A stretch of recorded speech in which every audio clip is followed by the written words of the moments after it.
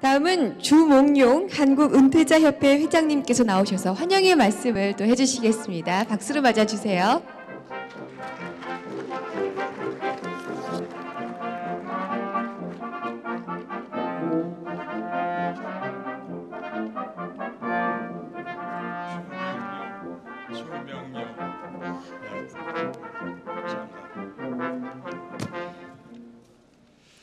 네, 한국 은퇴자협회 주명룡입니다.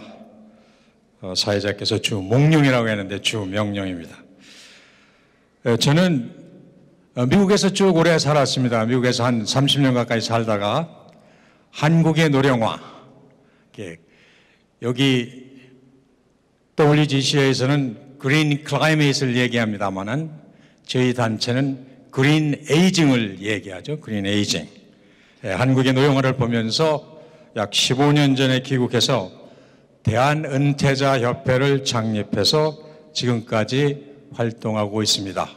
대한은퇴자 협회는 어, 지금 여기 이 행사를 주최하고 있는 어, 세계 녹색 기후 기구와 마찬가지로 UN NGO입니다. UN 에카사 경제사회 이사 NGO로서 NGO와 또 UN DPI NGO 공보국 NGO 두 가지 지위를 가지고 있습니다.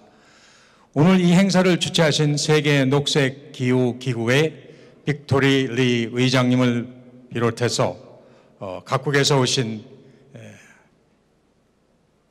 손님 여러분 그리고 국내에서 참여하신 여러분께 이 환영사를 통해서 진심으로 어, 환영과 감사의 인사를 드립니다.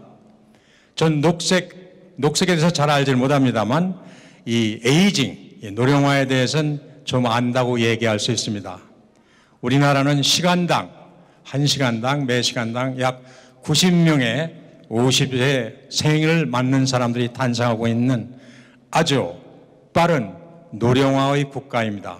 이런 빠른 노령화의 국가, 국가에서 세계 녹색 기후와 같이 해서 green climate뿐만 아니라 green aging을 할 수 있는 그러한 기회가 우리나라에 또 참석하신 여러분과 함께 같이 할 수 있는 기회가 되었으면 아주 좋겠습니다. 오늘 제1회 세계 녹색 의료 건강 문화 포럼이죠. 축하드리면서 여러분의 행사가 크게 성공해서 계속적으로 어, 해마다 열리는 국제적인 행사로 커가지기를 진심으로 빌어마지 않습니다. 감사합니다. 고맙습니다.